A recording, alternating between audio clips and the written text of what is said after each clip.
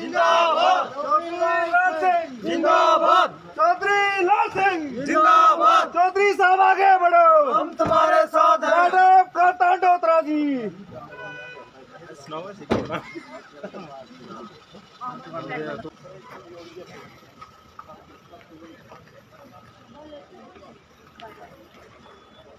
और बिजली दिखी लो महँगी हो जी इसलिए और हूँ स्मार्ट मीटर लगने ना। ज़मीन थोड़ियाँ चली गई गजोरियाँ कैंसिल हुई हैं रोज़गार कोई नहीं कोई भर्ती नहीं कोई पुलिस नहीं कोई चपरासी नहीं कोई टीचर नहीं कोई कोई नौकरी नहीं है सठ हज़ार डेली जेड़ा डेली वेजर साढ़े बच्चे बेले मतलब इन मारा खादिया पुलिस ने मारी मारी उनकी पिट्ठा तोड़ दी लाल करी फलियाँ पाई दी लेकिन उन्हें कुछ नहीं दिता तीन साल के बैठे धरने पर वो भी साढ़े सारे साढ़े कन्ने चले देन असें उंदा भी मसला हल कराना क्यों नहीं देना 10 10 15 15 20 20 30 30 ਸਾਲ ਦੇ ਵਿਚਾਰੇ ਨੌਕਰੀ ਕਰਾ ਦੇ ਉਹਨੇ ਪੱਕਾ ਨਹੀਂ ਕੀਤਾ। ਪਹਿਲੇ ਵੀ ਰਹਿਵਰੇ ਸਿਹਤ ਹੁੰਦੀ ਸੀ ਰਹਿਵਰੇ ਖੇਲ ਹੁੰਦੀ ਸੀ ਰਹਿਵਰੇ ਜ਼ਰਾਤ ਰਹਿਵਰੇ ਅਹ, ਜੰਗਲਾਤ ਕੁੱਤਾ ਘਰ ਰੱਖਣੇ ਆ 600 ਰੁਪਏ ਮਹੀਨਾ ਲੱਗਣਾ। ਪਾਣੀ ਨਾਲ ਹੈਂਡ ਪੰਪ ਦਾ ਟੈਕਸ ਲੱਗਣਾ ਪਾਣੀ ਜਿੰਨਾ ਪਾਣੀ ਕੱਢ ਗਿਆ ਉਹਨਾਂ ਬਿੱਲ ਉੱਥੇ ਮੀਟਰ ਲੱਗਣਾ ਲੱਗਣਾ ਘਰ ਘਰ ਲੱਗਣਾ। ਇਹਨੇ ਸਾਨੂੰ ਕਿਸੇ ਟੈਕਸ ਪਰੋਂ ਛੱਡਣਾ ਹੀ ਨਹੀਂ ਹੈ। ਇਹਨਾਂ ਵਾਸਤੇ ਉਹਦੇ ਬਾਅਦ ਇਹ ਵੀ ਨਾਲ ਸਾਹ ਕਿੰਨੇ ਲੈਂਦੇ ਹੋ? ਤੇ ਉਹ ਦੱਸੋ ਕਿ ਲੰਮਾ ਸਾਹ ਲੱਗੇ ਤੇ ਸ਼ਾਇਦ ਥੋੜਾ ਟੈਕਸ ਘੱਟ ਲੱਗੇ ਸਾਡੇ ਕਨੇ ਅੰਗਰੇਜ਼ਾਂ ਵੀ ਨਹੀਂ ਕੀਤੇ ਉਹਨੇ ਜਿੰਨੇ ਇਹ ਕਰਾ ਜਨ ਇਮਾਨਦਾਰੀ ਕੋਈ ਸ਼ੱਕ ਤੇ ਨਹੀਂ ਹੈ ਚੋਰੀ ਸਾਹਿਬ ਅਗਰ ਆ ਕੇ ਦੱਸੋ ਮੈਡਮ ਕਾਂਤਾਂ ਦੋਤਰਾ ਜਿੰਦਾਬਾਦ ਚੌਧਰੀ ਲਾਲ आगे बढ़ो। हम तुम्हारे साथ हैं। चौधरी लाल सिंह जी आगे बढ़ो। हम तुम्हारे साथ हैं। एक शिव टाइम में आपका स्वागत है। मैं हूँ आपका मेजबान पुरुषोत्तम मुल्कान मेरे साथ कैमरामैन बिशन जी।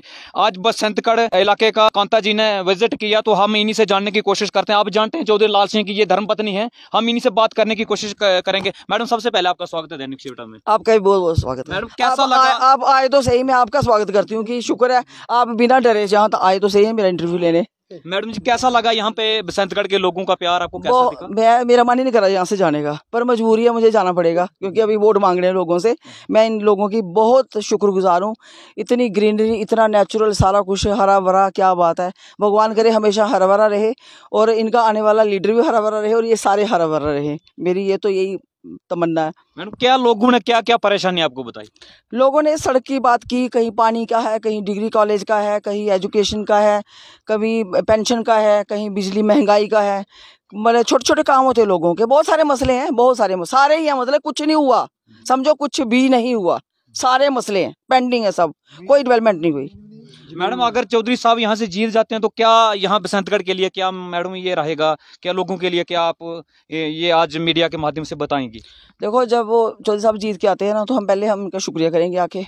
फिर साहब का दरबार लगाएँगे। फिर जो जनता का जो होगा जो इनकी प्रायोरिटीज़ होंगी उसी हिसाब से हम इनका काम करेंगे। छोटा मोटा तो रोकेंगे नहीं लेकिन जो बाकी काम होते हैं जो प्रायोरिटीज़ पे होते हैं वैसे ही होंगे। मैडम ये भी यहाँ पर कुछ नौजवान साथी थे हमारे साथ ये कह रहे थे कि हम रोड की बात करें तो रामनगर से लेकर बसंतगढ़ तक लेकिन सत्तर वर्ष में अभी तक हमारा रोड जो है वो ज्यों का त्यों ही पड़ा है इसके बारे में क्या कहेंगे नहीं रोड्स भी मैंने देखी है मैंने तो पहली बार देखी है मैं तो एक बार आई हूँ जखेड़ तक आगे नहीं आई थी। तो ये लाठी तो ना चौधरी साहब से हम नाम सुनते थे गाँव के, सारे वो, पता नहीं कहाँ क्या क्या नाम, हमें भी थोड़े सौ पचास नाम मुझे भी याद है, लेकिन मुझे अच्छा लगा, रोड की हालत बहुत ख़राब है जहाँ रोड नहीं होती, वहाँ डेवलपमेंट नहीं होती, ठीक है? मैं भी चौधरी साहब से रिक्वेस्ट करूँगी, किसी भी जो जहाँ से रोड बनती है, जैसे कोई भी योजना होती है तो उनमें ये रोड अच्छी बन जाए, ताकि रोड आएगी तो टूरिस्ट भी आएगा काम भी चलेगा, बच्चों को भी आना जाना आसान हो जाए। ये नौजवान बच्चे, इनका मन कर रहा है, मोटरसाइकिल चलाने का मन करता है गाड़ी चलाने का मन करता है कि रोड अच्छी नहीं है। अभी कल दो बच्चे हमारे रामनगर के, एक्सीडेंट हो गया रोड की वजह से।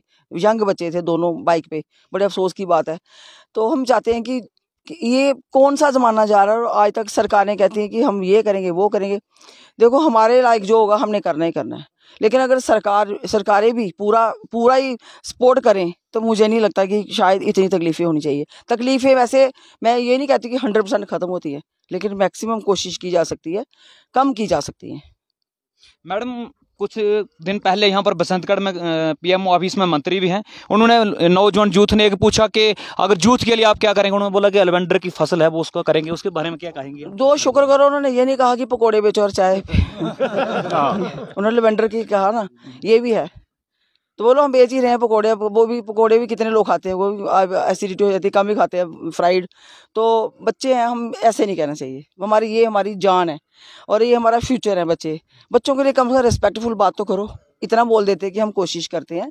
बच्चे कहीं आर्मी में जाएँ, कहीं पुलिस में जाएँ, कहीं जो जो देखो पहले भी छोटे छोटे छोटी छोटी नौकरियाँ निकलती थी रेवरे तो मैंने अभी बताया, जंगलात सेहत खेल तो बच्चे एडजस्ट हो जाते थे। अब तो सारा मतलब सब कुछ धुंधला ही हो गया। जब से ये आए हैं बहुत इन्होंने खराबियाँ करी हैं। इनको कोई इंटरेस्ट नहीं है। नहीं इंटरेस्ट इनको कोई प्यार नहीं है किसी से भी।